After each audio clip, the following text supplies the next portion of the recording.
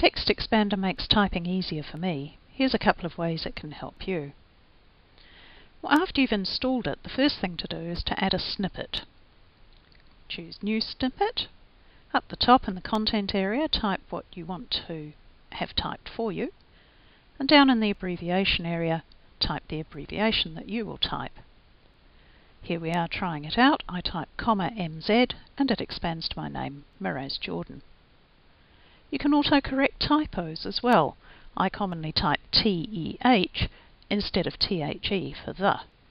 I type TEH as the abbreviation, THE as the content, and away we go, it fixes it for me. There are some snippets I use quite often, such as my email address, the address of the Mac Tips. Sometimes I need long chunks of text typed out for me. Here's 600 words with one keystroke. Or maybe I just need a shorter amount. I have a different abbreviation that calls up just a couple of paragraphs for me. Built into TextExpander are abbreviations for the time and the date, and many other things, in fact. Have a look at it, try it out. I think you'll find it saves you time too.